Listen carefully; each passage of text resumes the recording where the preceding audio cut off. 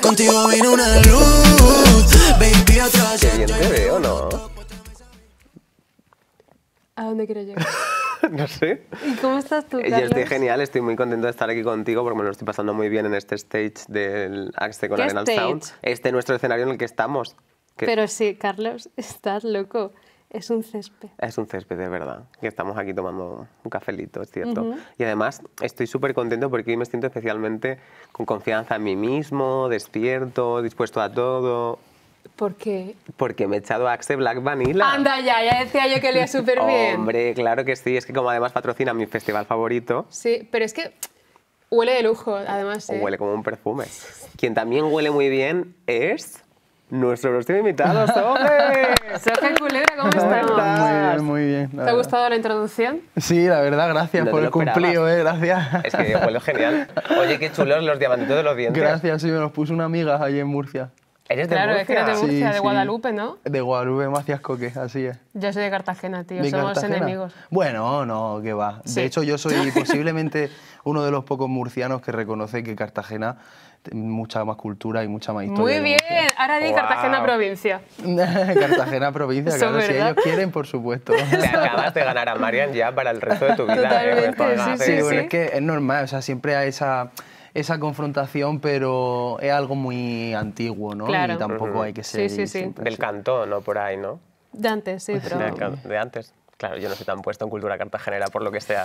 No. Yo estoy de Badajoz, lo siento, Sí. no estoy tan bueno, tú puesto. también tienes tus cosas en Bueno, Badajoz, también hay ¿eh? guerra, ¿no? Entre Murcia y Badajoz, ¿no? Por el hacho. Porque Ah, ahí... Es verdad, sí. tío. Claro. Tú, bueno, no te puedo ¿De preguntar de, dónde qué es bando el- estás. de dónde es Ahí el ya sí te hacho? digo que es de Murcia. Ya, ¿verdad? tío, yo Ahí creo sí que el te hacho también es de. Murcia. Joder, pero es que yo lo escucho. Una cosa curiosa del hacho es que yo a mi generación se lo he escuchado siempre a todo el mundo, pero a la de mis padres no.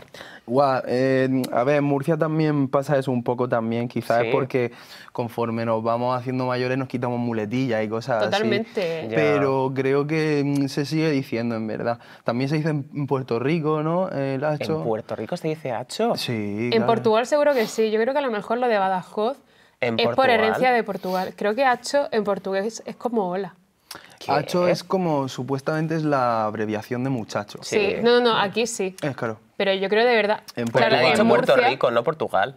Has dicho Puerto Rico, ¿no? Pero En Puerto Rico, sí, Portugal lo pero a lo mejor yo. en Portugal también, claro, claro. Todas las que empiezan por Porto. A mí eso me parece... En Portugal van a decir hacho. Te juro por Dios que alguien lo busque luego en su casa que hacho se dice en Portugal. A mí. O a lo mejor no, a lo mejor me estoy hacho. equivocando. Yo creo que no digo tanto hacho, pero lo que me gustan mucho son Chacho. los, no, las múltiples acepciones del hacho, que puede significar tantas cosas. Sí. Sí. O sea, que no es lo mismo decir hacho, ¿qué? Hacho, hacho, hacho. Ya, total, total, O total. Hacho, tío. En- en- además, yo digo como más cho, plan, Cho. cho. Cho. plan, Ah, cho. aspiras la A, ¿no? Claro, la, la A está fuera, Claro, ¿sabes? es economía del lenguaje, tío. Y mis Así- amigos también, en verdad. ¿eh? Mis amigos ya Sí. no... Yo creo que en Murcia el hacho ya Ha evolucionado. ha evolucionado a cho, solamente. Claro. Cho. Es como cuando pasamos de decir amor a decir mor. Claro, claro. Así, es totalmente eso. Total. ¿Y eh, te gusta el hacha? ¿El hacha? Sí. Eh, fonéticamente me resulta un poco más feo, pero... Sí, ¿verdad? Pero bueno, si a la gente también con el tiempo le ha puesto también el Claro. femenino... Si la situación lo da, pues hay que decir hacha. Sí, foneti- ¿Sabes cómo se fonéticamente dice no. hacha en inglés? Axe. ¿En Como? Axe Black Vanilla. Ver, Hostia, qué bueno, me ha gustado, Cuando me ha le gustado. dice hacho a alguien como diciendo, o sea, sustituyendo el hacho por un tú o Sí. por un Ajá. oye, queda más feo que si es una expresión como Eso es de sorpresa o tal. Ujú. Entonces, Sí, sí, por sí. eso mismo hacha, cuando ya le ponen el género, ya estás quitando el tú o sustituyendo el pronombre por Es meter el hacha, ¿sabes? Entonces, Eso es totalmente cierto. hacha Cuando tú raro. utilizas el hacho como pronombre, queda raro. es como que te están increpando algo. no mola tanto. claro. Se pierde como la familiaridad y el respeto que lleva la palabra hacho. Eso es, eso es. Eso es cierto. Donde vamos a estar diciendo mucho hacho todos es en el Arenal Sound, Hombre, por supuesto. hombre, por supuesto que sí. Eso es. ¿Qué podemos esperar de tu actuación? Hombre, pues energía positiva, eso siempre. Y ganas, la verdad, porque nunca estuve allí y es la primera vez y me apetece mucho, la verdad. ¿Tienes muchos festivales este verano? ¿Vas a hacer mucha ruta? Sí, la verdad. O sea, no sé, vacaciones pocas, en verdad. Tengo Ya. el Arenas, tengo... Y más otros que no nos patrocinan, así que... Eso no lo digas, es verdad. Solo Pero vas este, al Arenal Sound, eres supuesto- súper fiel al Arenal Sound. Y luego te vas a quedar al Arenal rollo a los conciertos. Eh, pues no lo sé, dependiendo de la hoja de ruta que llevemos, pero Claro. si podemos, estaría guay, la verdad. Sí, sí, sí. A ver, es que no, no sé mm, si eres fiestero o no. ¿Te pega un poco? Mm, lo he sido. O sea, me he pegado mi fiesta, evidentemente, y me ha apetecido el hecho de salir, ¿sabes? De estar en casa y decir, me apetece salir, pero ese sentimiento ya viene menos. O sea, Sí. quizás porque valoro más el tiempo de calidad de irme a la playa o de pasar Claro. tiempo con los amigos, porque sí que es verdad que la fiesta indirectamente, eh, que no siempre es así, pero indirectamente te lleva siempre a beber, ¿no? A llegar a casa reventado. Y el poco tiempo que tengo de vacaciones prefiero hacerlo de calidad, ¿sabes? De irme a la playa, de Sí. hacer algún plan chulo, de irme al monte, lo que sea. Más de día que de noche. eso es, sí. Bueno, y de noche también, quizás no, quizás el término de fiesta que yo tengo lo tengo también de otra forma, porque me mola también quedarme hasta las 4 de la mañana con mis amigos siempre, pero, pero no en pista ahí bailando a tope. Sí. A mí me, re- me revienta mucho, me Claro. revienta mucho. Y yo creo que también tiene mucho que ver el hecho de que, hostia, tu trabajo Ya lo estaba pensando. implica ya un momento de fiesta. A Claro. lo mejor no tuyo, pero es un entorno muy festivo, de eh, reventarse, de saltar, de gritar. Y creo que, joder, pues lo que se dice, ¿no? En casa de herrero, cuchi- eh, cuchara de palo. Después de estar todo el día currando de esta forma, lo que te apetece es comerte una paella. Ya, claro, no claro. irte de after. No, Además, lo que has dicho tú en plan de, en el escenario de la arena lo que traigo es buena energía, es que tienes que estar a tope. O sea, si no No, sales... sí. Literal. No Tengo que estar preparado para eso. Al fin y al cabo, en mi curro, como si a un jugador de fútbol le dices que no entrene antes de un show, Claro. lo mismo, yo también tengo que sentirme eh, bien antes de subirme a un escenario, que sé que lo vaya a hacer bien, sobre Sí, todo, sí, sí. también me va a ayudar mucho. ¿Y cuándo ha sido cuando tú, el momento en el que tú has dicho, vale, esto ya es mi trabajo?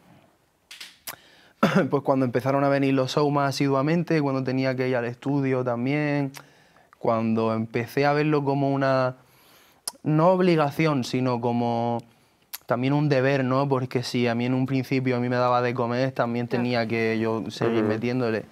Entonces fue un poco algo progresivo, ¿sabes? Con el tiempo fui dándome cuenta de que era un curro, pero no Claro. llegó un, no había, no hubo un punto de inflexión que yo dijera estoy dedicándome a ello, ¿sabes? Vale, vale. Pero también a, lo- a la- los que tenemos la suerte de dedicarnos a una cosa que nos gusta, también está guay este momento de de repente estoy haciendo un montón de cosas que genuinamente estoy disfrutando y luego digo, oye, que me pagan por esto a final de mes. ¿sabes? O sea, es un curro, pero obviamente es como también un privilegio y una sensación súper guay. Sí. Sí, sí, la verdad que mola. Y lo que estabas diciendo tú antes de, antes de salir al escenario, te tienes que sentir bien, que es una cosa que a ti te dé confianza antes de salir. Pues estamos hablando con esto de Axe, que habla mucho de la confianza en uno mismo y todo eso. ¿Qué es lo que te hace sentir a ti en plan como guay? ¿Tienes un ritual? ¿Tienes algo de decir, esto es lo que hago Pues- para estar a tope en el escenario? A ver, no tengo un ritual como tal o algo que haga siempre, pero sí que me mola la verdad y creo que es súper importante que entre toda la crew que haya en ese momento haya armonía, haya bue- ah, buen rollo, que no haya enfados por ninguna parte, porque todo recae en mí sentimentalmente, soy muy sentimental con Claro. esas cosas y me, me raya salir si hay algún problema antes. Entonces Ya. me mola evadirme de todo, que todo esté bien, para solo centrarme en el show, hayan 20 personas o 20.000, ¿sabes? El show tiene que ser el mismo y tengo que subirme energético. Y si hay algo que me jode la energía antes, me rayo. Sí, sí, sí. Y tú que te, te he visto que te gusta un buen looking, porque has venido con un bolso que es un custom chulísimo, Sí, entre guapo. eso y los gemas de los dientes, algo estético que tú digas, esto me, hace- me da confianza a mí mismo, me gusta. Las, mis zapas. Sí. Mis Ah, zapas eres muy de favoritas, zapas. sí, ¿Cuáles sí. son esas? No las reconozco. Estas son las Bouncer de Valenciaga. Hostia, son neumáticos, ¿eh? Estas sí son- de hecho son neumáticos. Sí, ¿no? son neumáticos, sí. literal. ¿Cuáles son tus favoritas para los conciertos? Estas. Estas. Sí, son cómodas, son...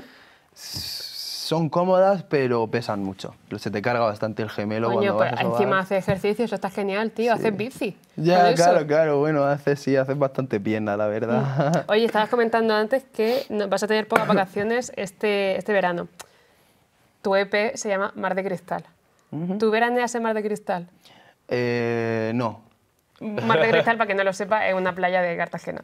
sí. Bueno, o una parada de metro Madrid, claro. Es no sé si es Bien, por. Madrid o es de- por Cartagena eso. Ni idea, la verdad. O sea, no. Ah, no- bueno. ¿Cómo que ni idea? Ah, es tuyo. pe- Pensaba que decía el nombre de la parada del No, no, metro. no, de. EP. No, no, o sea, ya ni me acuerdo, porque como salió en 2017, o sea, ni me acuerdo. ¿Fue tu primer EP?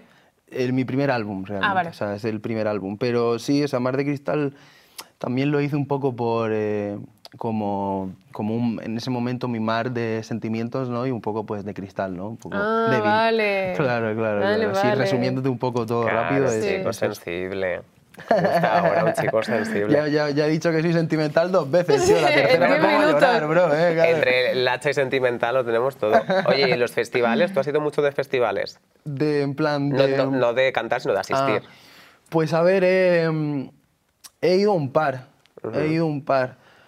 Eh, y me lo paso guay, en verdad, pero lo mismo. O sea, siempre intento hacer. El, la men- o sea, gastar la menos energía posible Sí. física para no llegar cansado, ¿sabes? ¿Camping u hotel? ¿Qué prefieres? Eso. Hotel. Hombre, pues claro que sí, que ya tenemos una edad, por favor, y somos unos señores. es que, de verdad, la gente que dice con No. 25 años, me encanta el camping, por favor, no te duele la espalda, Sí, porque a mí me camping, duele. Yo creo que mola el camping porque te vas con tus amigos, ¿no? Claro. Y siempre mola hacer piña y hacerlo Sí. entre todos, todo.